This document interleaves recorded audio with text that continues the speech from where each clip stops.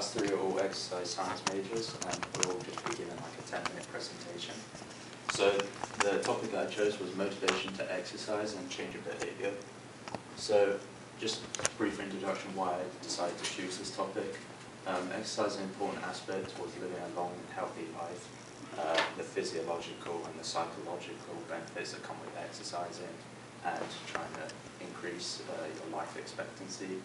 Just some statistics, 60% of Americans are not physically active on a regular basis and 25% of uh, Americans are not physically active at all. And for the people that do begin an exercise program, 50% drop out within the first uh, six months. Obviously, there's a motivational issue there that they're not following through with the program. Uh, so some just uh, definitions quick. We have motivation, which can be defined as a complex set of internal and external forces that influence individuals to behave in a certain way. And then self-efficacy, which kind of ties into motivation.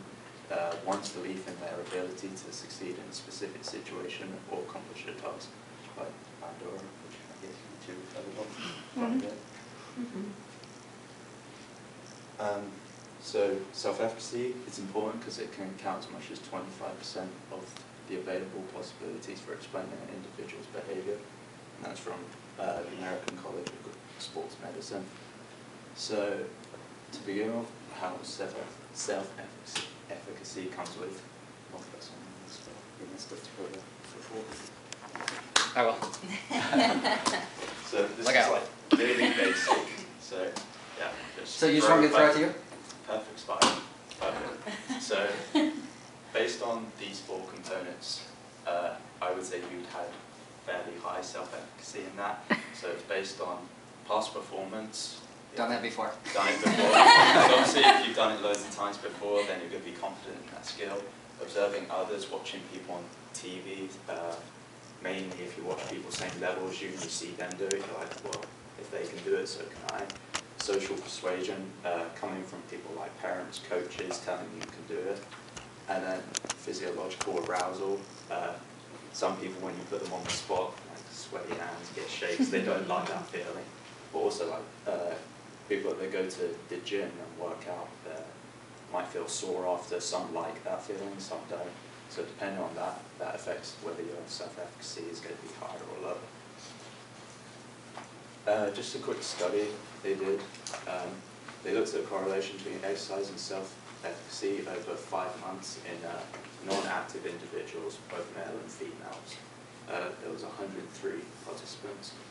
Uh, so they looked at exercise behaviour, which was measured through class attendance, intensity, self-efficacy, and physiological indicators, which is body comfort and aerobic capacity. They took these uh, measurements at the third, 12th, and 20th week of the exercise program. So at the start of the program, participants with high body fat levels had lower self-efficacy. Obviously, they're engaging in an exercise program. They might feel uncomfortable because they've never done it before. So that's probably why their self-efficacy was low. At the week 12 of the program, self-efficacy was found to be a strong predictor of exercise adherence, so like following through with the program. Uh, 20 weeks into the program, the strongest predictor uh, of continued exercise adherence was participant exercise attendance and intensity of week 12. So you can see like the correlation between having high self-efficacy and following through with the exercise program. So now you know a bit about self-efficacy, how do you increase it? Um, using past personal experience, using the saying, if I've done it once, I can do it before, I can do it again. Um, you can just call on any time they may have been physically active and if they had a positive experience through that, then you can recall on that and that might make them want to start they've had no experience, it's important to focus on goals setting to create mastery experience. That's just kind of, if you're, you're confident in yourself of being good at that specific skill, obviously you're more likely to do it because you do stuff that makes you feel good. Um, so then coming into goal setting, you want to develop realistic short-term goals that can lead to easy success because you want that uh, instant satisfaction after you work out. Um, so we use the acronym SMART, which stands for specific, measurable, achievable, realistic, and then time-based your goals. So yeah, this initial success will, success will create a mastery experience for the exerciser and increase self-efficacy. And then uh, training logs, I know a lot of personal trainers get uh, their clients to do this, just so you can look back and see how well you're progressing and look at your start to finish. You feel really good about yourself. And then this is just a graph um, table coming in from the four components of self-efficacy and just giving some examples of other ways to increase it. So relevant experience, uh, becoming more competent because you see someone else doing the task, becoming more confident because someone else convinces you that you have the skills, and the energized state which you get from working out. Um, I just thought this was pretty cool to look at because um, for every behavior we have, we're somewhere on this uh, circle, I guess. Um, so, for example, either going on a diet or, uh, let's say, a gym membership. Um, so stage one would be pre-contemplation, so no recognize of need for or interest, interest in change. Uh, stage two is contemplation, so think about changing. This is where you just might have the first initial thought, oh, okay, I need to go to the gym and start exercising. Uh, preparation is planning for change. That might be looking at your local gyms and looking at the prices of memberships or going for like your physical exam. And then four is adopting a new habit. This is where you're first trying it out. That's where you want these short-term goals to really motivate you to follow it through so you can get to stage five, which is ongoing practice of the new behavior. And then I was reading in one of the articles, they talked about the habit loop, which is um, based on every habit is formed by a cue behavior and a re- reward. So if we're going to the gym, the cue could just be the time of day six o'clock when you get home from work or something like that, or you just had dinner. And then the behavior is going to the gym itself, and then the reward will maybe, depends on the person, it can be the feeling of being tired after going to the gym, knowing you've burned some calories, or um, achieving some of those goals that you've set. And then lastly, just recommendations. I put this in because uh, I remember I struggled to get my dad uh, physically active, and maybe you have kids and you want they're not really engaged, and you just want to think of ways you can do this. Um, so I put don't throw them in the deep end. What I mean is if they're in like group classes, but try and find uh, a level that's similar to them. If they're a beginner, put them in with beginner classes. It's very demoralizing being in a class and everyone's a lot better than you. Um, and then these tie in working, uh, working out with friends, um, just like a confidence boost. Uh, if you're trying things out for the new time, it's always nice to have a friend there with you.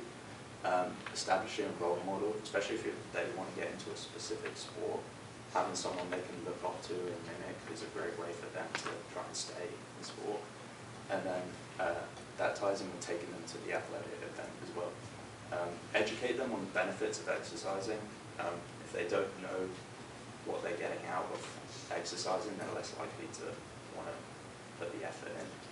And then again with the goals, uh, setting short-term and long-term goals and track the progress so they can see the rewards. Again, that comes into motivating them being able to reflect and see how they're doing.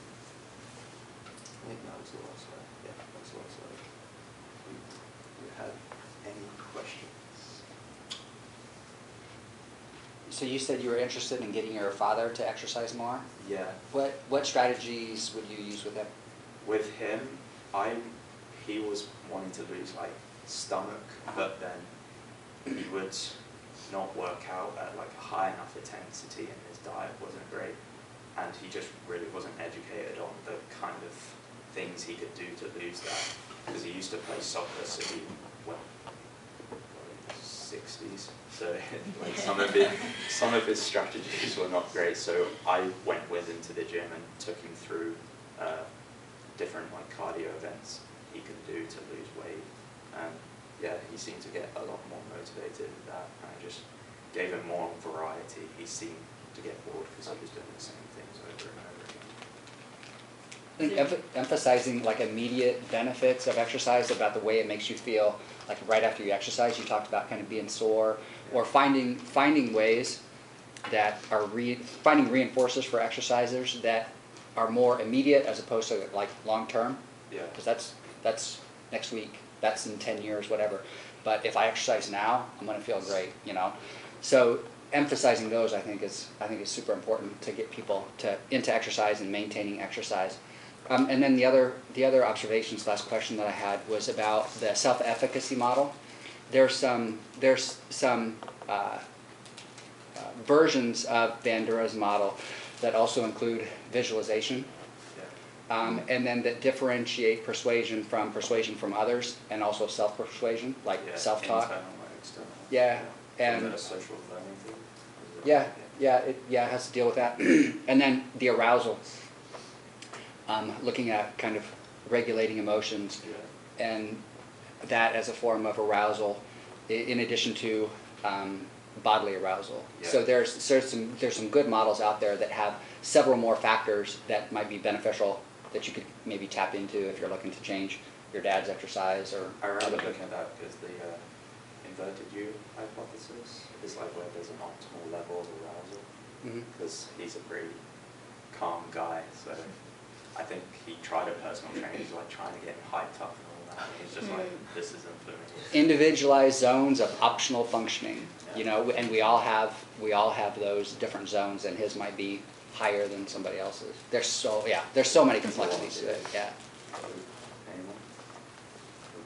So, oh, sorry. Um, so you're, you're thinking about motivation and motivational strategies, and many of us wear fitness trackers and the technology, yep.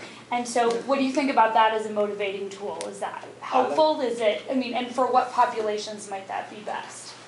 I think it's, so like Fitbit is the one I use. Uh-huh. That's great for me because I play tennis, so I like looking after a match and just syncing it onto my phone and seeing like how many calories did I burn, where did my heart rate peak, I just Mhm. like knowing that information. But then also getting like the reminders for people that aren't as active, Mhm. saying like, hey, go on a run or something like that. And just, you get like the email saying congratulations, you've done so many miles. Just that like instant gratification, I think really helps people. Mhm. And it can appeal to all ages, I think.